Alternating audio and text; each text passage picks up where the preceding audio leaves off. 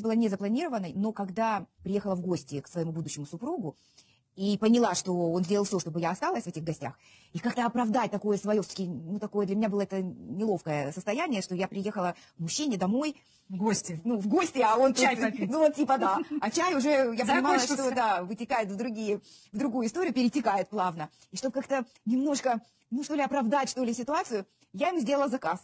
Какой? Я сказала, ну, ну, раз так уже получается, Ты мне должен ребенка. нет, я говорю, ну, я хочу мальчика. Я прям конкретно заказала.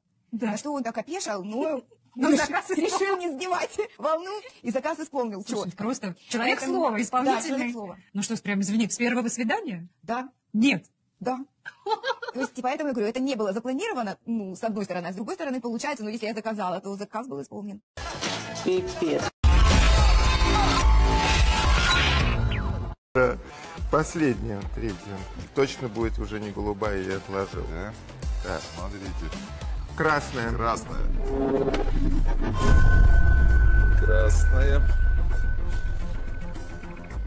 Вы когда-нибудь корили своего партнера за то, что он зарабатывает недостаточно денег? Ну, это, не, по-моему, не ваш, не ваш случай, по-моему, Да, так как-то удачно получилось, что это не мой случай. Но в любом случае, я думаю, что если речь касается о партнере, то бишь это некий спутник жизни или человек близкий тебе, я не буду, э, я не буду его э, таким образом задевать или пытаться обидеть.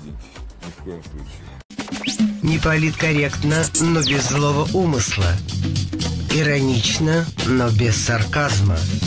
Пристрастно, но по-честному. Правда 24 и Евгений Додолев. С понедельника по четверг в 19.30 на телеканале Москва 24.